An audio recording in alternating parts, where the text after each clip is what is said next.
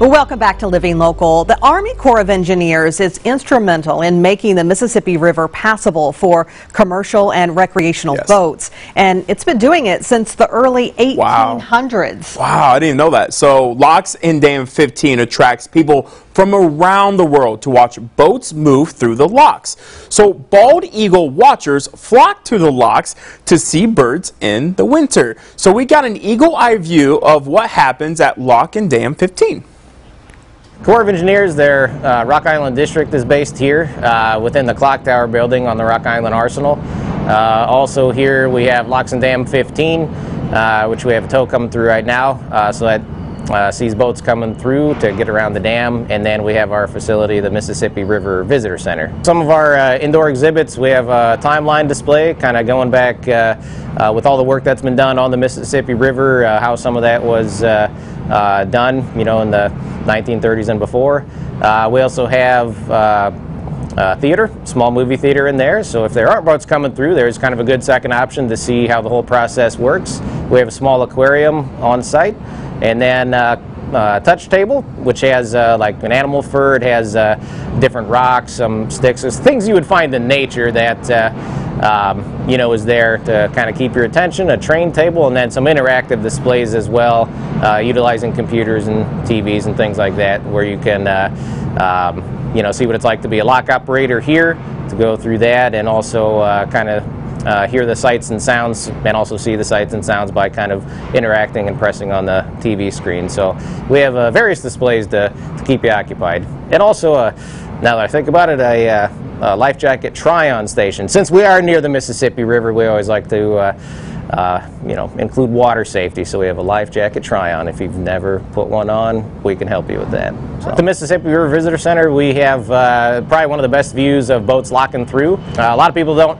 you know, realize how the lock works, or they want to know more about the Mississippi, what the Corps of Engineer does in recreation, and so we're here to kind of help and hopefully educate on all those aspects. Uh, as you get to see the lock work, you have the government bridge in the background uh, that you know spins on occasion if you uh, have a tall boat coming through.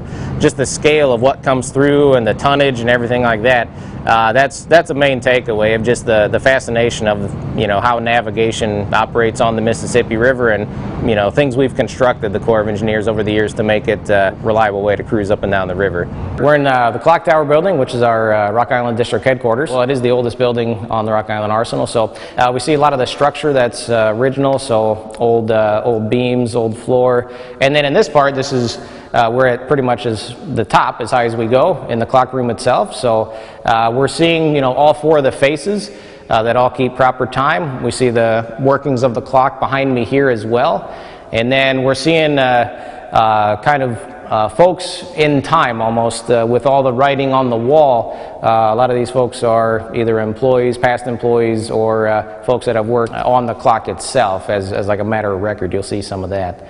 Um, so yeah, lots of lots of history. This clock still uh, operates much much how it originally was. So weights have to be wound up once a week. So on the hour, uh, every hour it'll chime. So this clock will um, feed into a chain that goes up to the ceiling and basically it'll strike the bell. All four of the clock faces, every time that pendulum kind of makes its swing and you hear a thump, uh, you can actually see the hand move just a little bit on all four uh, faces. Looking out the windows, I mean, you see down, you can see, you know, your car, you can see the river if a boat's coming through. So just the, just the simple fact we're in an elevated position on the arsenal great views of the river, uh, possibly eagles, other birds. Uh, typically, we see a lot of eagles um, on kind of the downriver side of the dam. Kind of a unique, you know, point of view from up here as well. You're, you're on a military base, but uh, a lot of the island doesn't feel like you're on a military base. You have big forested areas, you have families that live on base. A lot of the base is open to the public, and uh, uh, we would like people to see it for themselves. Visitors are encouraged to visit the Rock Island Arsenal. So to get an annual pass, you just got to visit our Visitor Welcome Center. Again, it's open seven days a week, 7 a.m. to 3 p.m. You just have to bring a uh, valid driver license or state ID, uh, U.S. passport or passport card. Stop down to Visitor Welcome Center, fill out a form, and then uh, take that form up to the, the window and one of the guards will get you taken care of. Um, and then they'll be allowed access to the installation. There's a lot of recreational um, and history that's on the installation. We have the National Cemetery that you can come honor the veterans uh, that have come and gone. Um, there's a static display of tanks and artillery uh, that is really cool to see. Uh, we have a splash pad, uh, memorial park um, for the, the children. Um, and it's just 160 years that the Arsenal has been involved in the Quad Cities, so it's not just an Army installation, it's a community installation. Reservations are required for a tour of Lock and Dam 15 and the clock tower. Absolutely. And for those reservations, you need to call 309 794 5338.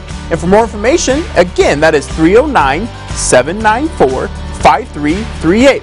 We'll also have those details posted on ourquadcities.com.